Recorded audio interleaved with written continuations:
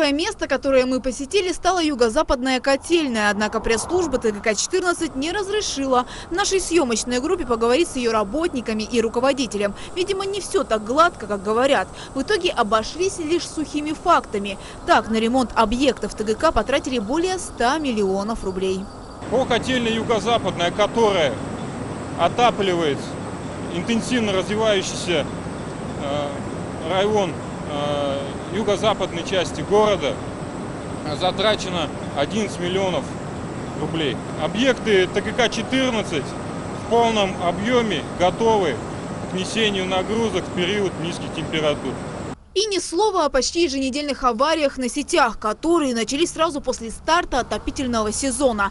Так, 22 сентября в поселке Южный жители узнали о подаче тепла по затопленному подвалу. Причем утечка была там, где ТГК-14 проводила ремонт летом. Помимо холодных квартир, после подачи тепла, отмечу с задержкой на неделю, страдала и школа номер 5 в Сосновом Бару. Далее еще хуже. В начале декабря авария оставила без тепла жителей Верхней Березовки, поселка Алтан Газар и Кирзавода.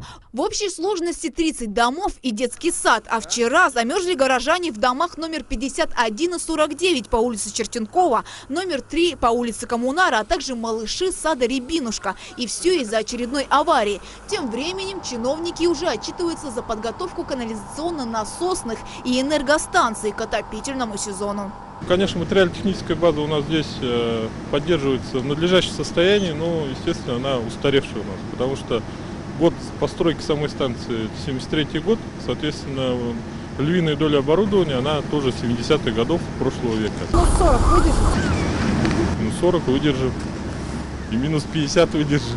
Для прохождения осенне-зимнего периода э, акционерное общество «Энерго» провело ремонтные работы на общую сумму 65 миллионов рублей.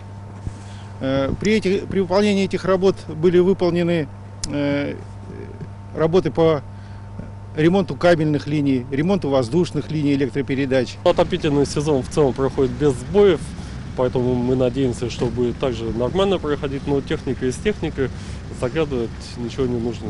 Но работа по подготовке была проведена в полном объеме, все запланированные мероприятия были выполнены полностью. Без тепла люди не останутся в любом случае.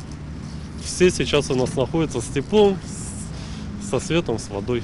Будет ли у жителей города в осенне-зимний период свет, вода и тепло без перерыва, покажет время. Экстремальных условий погода нам пока еще не создавала. Светлана Шакунова, Вячеслав Батоев, Первая альтернативная.